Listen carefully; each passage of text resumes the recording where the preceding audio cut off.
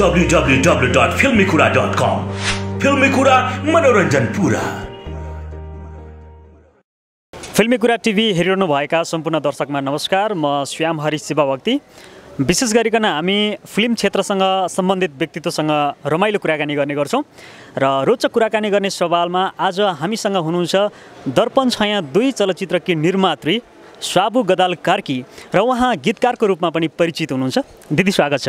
हजुर thank you so much कति राम्री भएर आउनु भएको छ? अमेरिकादेखि नेपाल आउनु भएको छ। फिल्मकै लागि त आउनुभयो तपाईँ होइन? किन योभन्दा अगाडि चाहिँ राम्री थिइनँ र? होइन फिल्म लाग्दैछ त्यो भावनाले पनि यहाँको त्यो उत्साहले गर्दा अझ राम्रो देखिया हो कि भन्ने मलाई भान भइरहेछ। थ्याङ्क यू सो मच राम्रो देखि देखिदिएकोमा। अब साबु गदाल कार्की निर्मात्रीको रूपमा गीतकारको पनि परिचय छ। त्यो विगतलाई कसरी सम्झिनुहुन्छ? रेडियो नेपालमा पनि आबद्ध हुनुभयो। होइन? ती पलहरू कतिको मिस गर्नुहुन्छ तपाईँ? एकदमै मिस गर्छु। वास्तवमा विगतले मलाई धेरै कुराहरू सिकाएको छ। रेडियो नेपालमा जब म प्रवेश गरेँ धेरै कठिनाइहरू थिए त्यतिखेर। सिक्ने क्रममा जागिर खाने क्रममा धेरै कठिनाइहरू हुन्थ्यो होइन? त्यसले गर्दा त्यो फेजले मलाई धेरै कुराहरू सिकाएको छ र अहिलेसम्म दर्पण छाया टु लिएर आउनेसम्ममा धेरै कुरा सिकेको छु। तर एउटै विडम्बना गीतकारको रूपमा यति धेरै एउटा लोकप्रियता कमाइरहँदा पनि नायिका बन्ने चाहना चाहिँ अधुरै रह्यो यहाँको है? त्यो चाहिँ अधुरै रह्यो। नायिका बन्ने रहर थियो अधुरो रह्यो। तर जे होस् प्रड्युसर भएर दर्पण छायामा एउटा इतिहास बोकेको डिरेक्टर तुलसी घिमिरेसँग काम गर्नु पाउँदा म आफै इतिहास बनेको जस्तो मलाई फिल हुन्छ। अनि यो नायिका बन्ने चाहना चाहिँ कुन उमेर आएर मऱ्यो त? पहिला त थियो अहिले कतिको मरिसक्यो कि त्यो चाहना अझै पनि जीवितै छ? हेर्नुहोस् चाहना र रहर भन्ने कुरो कहिले पनि मर्दैन। र सिक्ने कुरा अझ पनि मैले यो युएसएमा गइसकिसकेपछि त सिक्ने क्रम त र राम्री हुने क्रम सिक्ने क्रम जवानी त अहिले आएको जस्तो लाग्छ। नायिका हुन चाहिँ किन सकिन जस्तो लाग्छ अहिले? त्यति बेला ट्राई नै गरिएन या निर्माता निर्देशकको नजरमा परिएन? या के भयो। होइन होइन त्यस्तो होइन। एउटा टेलिसिरियल च आएको थियो देवी। त्यसको मेन रोल मलाई कुरा गरेको थियो पहिला होइन।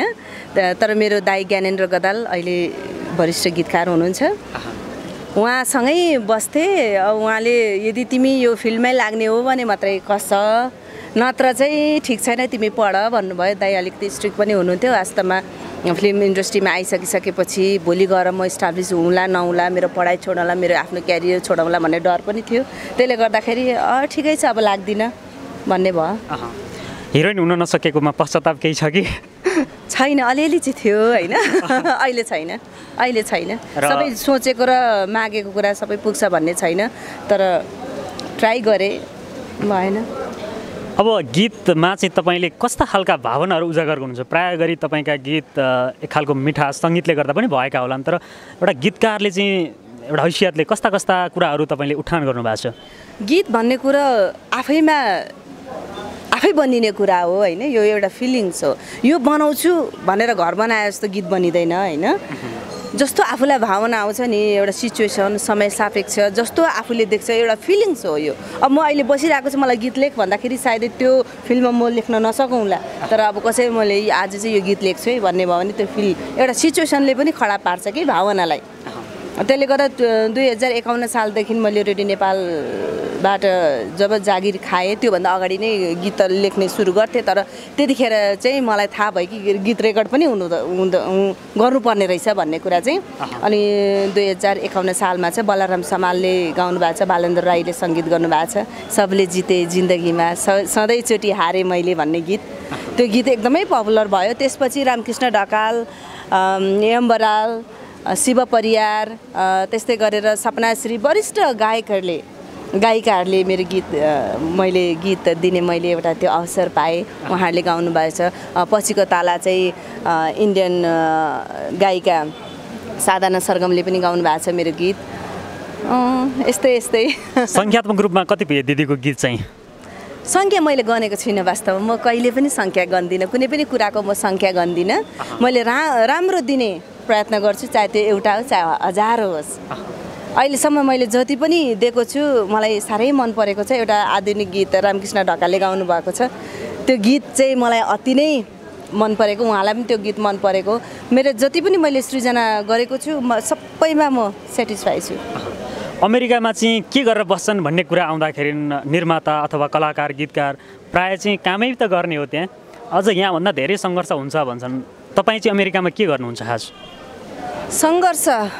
वास्तवमा भन्ने कुरो काम के हो जीवन के हो भन्ने कुरो चाहिँ अमेरिकाले मलाई धेरै कुराहरू सिकायो कन्फिडेन्स मेन कुरो। रेडियो नेपालमा जब मैले जागिर खान्थेँ मलाई एक किसिमको त्रास डर हुन्थ्यो। कसैलाई मैले हात मोल्नु पर्थ्यो होला कसैलाई मैले चाकडी गर्नु पर्थ्यो होला मेरो बढुवाको लागि मैले जागिर खानलाई नि मैले धेरै दुःख गरेँ होला। होइन? एक महिना दुई महिनासम्म त मैले जागिर खाइरहेको छु भनेर म हिँडेँ तर मैले जागिर पाएको थिइनँ। एउटा परिवारलाई मैले एउटा आश्वासन दिएको पनि थिएँ होला। त्यो दिन सम्झिँदाखेरि मलाई चस्स हुन्छ तर त्यो दिनले मलाई धेरै कुराहरू सिकाएको छ। र जब म अमेरिका गएँ अमेरिका गइसकिसकेपछि त्यो त मैले सजिलै पाएको रहेछु रेडियो नेपालमा जागिर त। भन्ने कुरो मलाई फिल भयो उहाँ पुगिसकेपछि। उहाँ पुगिसकेपछि भाषा शैलीको भाषाको मेन कुरो त भाषाको हामीलाई गाह्रो। अर्को कुरा संस्कार। जुन संस्कारमा मेरो बाबा आमाले मलाई हुर्काउनु भयो त्यो संस्कार मैले त्यहाँ गएर छोड्न सकिनँ होइन? त्यसले गर्दा मलाई अलिकति गाह्रो भयो। हुनु त संस्कारै छोडेर म फ्रिडम भएँ अनि मलाई अहिले सजिलो भयो भन्नु त मैले मिल्दैन त्यो होइन। तर सा समय सापेक्षलाई मैले एक्सेप्ट गरेँ सिचुएसनलाई।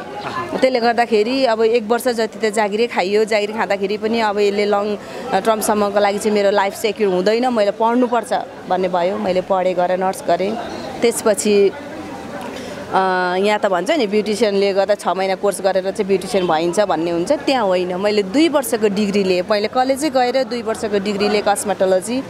अनि त्यसपछि त्यहाँ यहाँको एसएससीमा हामी बोर्ड एक्जाम दिन्छौँ नि त्यस्तै त्यहाँ पनि स्टेट एक्जाम हुन्छ। पढेर नै गर्नुपर्छ त्यो। त्यसले गर्दाखेरि कस्मेटोलोजीले नर्सले अहिले मैले दुईवटा काम गर्छु। एउटा नर्स काम गर्छु। अर्को कुरा चाहिँ म हेयर ड्रेसर पनि हो म अहिले। जे होस् अमेरिकाको काम पनि राम्रो छ र अब फिल्मतर्फै फर्क्यौँ होला। तपाईँलाई मनपर्ने हिरो चाहिँ को हुनुहुन्छ? नेपाली फिल्म इन्डस्ट्रीको?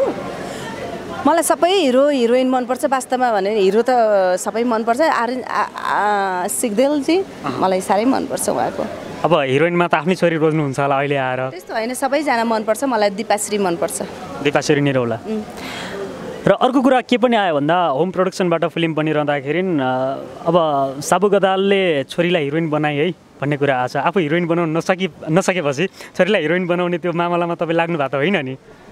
त्यो होइन त्यो होइन किनभने म एउटा यस्तो आमा बन्न चाहन्छु कि जो मलाई मेरो मनमा मेरो एउटा फिल थियो म हिरोइन बन्न पाए हुन्थ्यो म चाहिँ यो इन्डस्ट्रीमा यो म्युजिक इन्डस्ट्रीमा लाग्न पाए हुन्थ्यो भन्दा जुन एउटा फ्यामिलीको एउटा मलाई बन्देज भयो या त एउटा समा सामाजिक दृष्टिकोणले "अ, भोलि हुँदैन भन्ने बाउआमालाई इज्जतको डर थियो होला हरेक कुराहरूको डर थियो होला तर त्यो मैले मेरो छोरीको लागि मैले हेरिनँ। डक्टर इन्जिनियर कुनै पनि एउटा एकाडेमिक क्वालिफिकेसनको लागि हामी जति खर्च गर्छौँ छोरी छोराछोरी जसको लागि होस् त त्यो खर्च चाहिँ मैले मेरो छोरीमा मैले ट्यालेन्ट देखेँ। त्यसले गर्दाखेरि अब त्यो एकाडेमिक क्वालिफिकेसन त अभियसली उसले उसले गर्छ नि एउटा डिग्री त लिनै नै पर्छ। लाइफ सर्भाइभ गर्नको लागि यो फिल्म इन्डस्ट्री भनेको त रूप रङ र ट्यालेन्ट हुन्जेल मात्र हो जस्तो मलाई लाग्छ है। त्यसले गर्दाखेरि अब छोरीले चाहना भन्दाखेरि पनि यो दर्पण छाया अब हामी बनाउँछौँ भनिसकिसकेपछि एउटा सल्लाह भयो। तुलसी सर भारती म्यामसँग हाम्रो एउटा डिस्कस भयो। र त्यही अडिसनको सिलसिलामा चाहिँ साराले यो रोल गर्न सक्छिन् भनेर तुलसी सरले भनिसकिसकेपछि एउटा आँट हिम्मत ऊर्जा थपी हामीमा। अनि सारालाई सोध्यौँ सारा तिमी अब यो गर्नु सक्छौ त पढाइमा ह्याम्पर त हुँदैन भन्दाखेरि वास्तवमा उसले धेरै राम्रो काम पनि गरिन् र गरिन् पनि। अहिले साँच्चै भनौँ भने पढाइलाई जुन पढाइ उसलाई डबल प्रेसर पनि भयो वास्तवमा एउटा फ्यामिलीको एउटा पढाइ र आ- हरेक कुराले गर्दाखेरि वास्तवमा अहिले बिगिनिङ पहिला फिल्म बनाउनुभन्दा उसको पढाइ जति थियो त्योभन्दा राम्रो भएर गयो। टप युनिभर्सिटीले चाहिँ उसलाई चाहिँ कलेजमा एक्सेप्ट गर्यो। त्यो नै ठुलो कुरा हो। अब दर्पण छाया पनि राम्रो गरेकी छिन्। मैले मलाई दुःख छैन। मेरो छोरीलाई मैले हिरोइनी बन्न पाइनँ म मेरो छोरीलाई गरेँ भन्ने। किनभने उमा पनि क्वालिटी थियो नभइकन कसैले पनि अब तुलसी घिमिरे जस्तो मान्छेले लड तर हिरोइन लिन्छन् भन्नुहोस् न तपाईँ। दिदी यो तुलसी घिमिरेले पटक पटक अन्तर्वार्तामा नि भन्नुभएको थियो कि बिचमा उहाँ ग्याप हुनुको कारण थुप्रै निर्माता आएर झुक्क्या आएर कतिले विश्वासै पनि गरेनन् अरे र त्यो दर्पण छायाको टाइटल लिनुको कारण चाहिँ पहिलाको टाइटललाई क्यास गर्दाखेरि अडियन्स आउँछन् कि भन्ने उहाँमा पनि आशा। र तपाईँहरूले त्यो लगानी गर्ने माहौल दर्पण छाया दुई टाइटल राखेर हो या तुलसी घिमिरेप्रति मात्र विश्वास गरेर हो? म वास्तवमा भन्यो भने नढाँटी भन्छु तुलसी घिमिरे सरसँग विश्वास गरेर हो। यो हामीले फिल्म बनाएको। र तुलसी घिमिरे सर यस्तो व्यक्ति हो फिल्म इन्डस्ट्रीको मैले बुझेअनुसार उहाँ भनेको एउटा भगवान् हो। भगवान्को रूपमा म लिन्छु फिल्म इन्डस्ट्रीको एज अ फिल्म इन्डस्ट्रीको लागि है। उहाँ एउटा इतिहास बोकेको मान्छे हो। उहाँको शालीनता उहाँको बोल्ने शैली उहाँको सहने क्षमता र उहाँले एउटा जेनुन मान्छेहरूसँग गर्ने बानी बेहोरा एकदमै प्रभावित भएको हामी। होइन? अब नेपाली नेपाल लगायत इन्टरनेसनलमा पनि उहाँको राम्रो छवि भइसकेको मान्छे।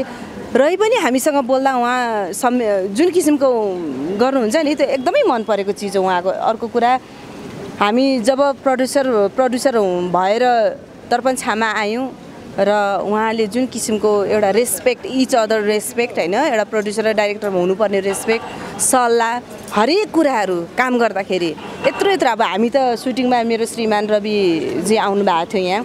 उहाँ त हुनुहुन्थ्यो तर म त थिइनँ। तर उहाँले हरेक निर्णयहरू सानो सानो निर्णय पनि हामीलाई सोध्नुहुन्थ्यो। अब यसो गर्दा कसो होला यसो गर्दा कसो होला? त्यो पक्ष उहाँको साह्रै राम्रो लागेको मलाई। अब फिल्म रिलिज हुँदैछ। अडियन्सलाई के भन्न चाहनुहुन्छ? फिल्मलाई समग्र लिएर तपाईँको केही भनाइ? फिल्म क्वान्टिटी क्वालिटी दुवै आउँछ नेपाल फिल्म इन्डस्ट्रीमा है। क्वालिटीलाई हामीले जोड दिनु जरुरी छ। क्वान्टिटी अब सङ् असङ्ख्य फिल्महरू आउँछन् जान्छन्। आउँदै जाँदै गर्छ यो क्रम त जारी छ। तर एउटा राम्रो चिज दिउँ समाजमा पनि ताकि त्यो एउटा इतिहास बनेर जाओस्। र दर्पण छायाले एउटा इतिहास बोकेको छ। भोलि म यति पनि भन्न चाहन्छु तपाईँहरूलाई। कदम कदाचित दर्पण छायाले मार्केट लिनु सकेन बिजनेस भ्यूले भने पनि मलाई रिग्रेट छैन। मलाई यति प्राउड छ कि एउटा इतिहास छोडेर गएको छु। दर्पण छायाले एउटा इतिहास छोडेर गएको छ भन्ने मलाई लाग्छ। भोलि म बाँच्न चाहन्छु। राम्रो काम गरेर म बाँच्न चाहन्छु। र अहिले म सानो कुरा भनि पनि हाल्छु। हाम्रो पत्रकार साथीहरू अहिले जति पनि आउनु भएको छ। अहिले यति राम्रो भएछ हुनु त पन्ध्र सोह्र वर्ष भयो मैले नेपाल छोडेर गएको है त्यतिखेर पत्रकारहरूले त्यतिखेर चाहिँ व्यक्तिको चरित्र व्यक्तिको सानो कुरालाई ठुलो पार्ने राम्रो कुरालाई चाहिँ होइन नराम्रो कुरालाई यत्रो बनाएर लेख्नुहुन्थ्यो। तर अहिले चाहिँ व्यक्तिको जो जुनै पनि कुराले यदि उहाँहरूलाई असर पर्दैन भने होइन? उहाँहरूलाई असर पर्दैन फिल्म इन्डस्ट्रीलाई असर पर्दैन समाजलाई असर पर्दैन भने त्यो कुराहरूलाई पन्छाएर राम्रो कुराहरू लेख्नु थाल्नु भएको छ तपाईँहरूले भन्न थाल्नु भएको छ होइन? त्यसले गर्दाखेरि हामीलाई पनि त्यो एक किसिमको ऊर्जा भयो कि? एकदमै हामी वी आर भेरी प्राउड तपाईँहरूसँग पनि। केही गीती लेखनका कुरा केही अमेरिकाको अनुभव र समग्र दर्पण छाया दुईको विषयमा हामीले तपाईँसँग रहेर कुराकानी गऱ्यौँ सफलताको शुभकामना र कुराकानीको लागि पनि thank you so much thank you अब दर्पण छाया यही फागुन सत्ताइस गते रिलिज हुँदैछ। सबै तपाईँहरूले सबै फ्यामिली आएर चाहिँ हेर्नु होला। म एक ठाउँ गएको थिएँ। त्यहाँनिर भन्नुभयो तपाईँ दर्पण छाया बनाउँदै हुनुहुन्छ अरे? भन्नुभयो होइन। हजुर बनाउँदैछु ए अब चाहिँ हामी फिल्म सबै परिवार बसेर हेर्ने मुभी आएछ भन्नुभयो। त्यो एउटा शब्द पनि हामीलाई हाम्रो लागि धेरै ठुलो कुरा हो। वास्तवमा तुलसी घिमिरे सरले जे दिनुहुन्छ चाहे त्यो चलोस् चाहे नचलोस् तर म्यासेज भने राम्रो दिनुहुन्छ भन्ने चाहिँ मलाई लाग्यो। Thank you so much thank you तपाईँलाई पनि थ्याङ्क यू यसरी मेरो चाहिँ एक दुई शब्द हाम्रो अडियन्स श्रोताहरूलाई चाहिँ यसरी मौका सुनाउने मौका दिनुभएकोमा थ्याङ्क यू सो मच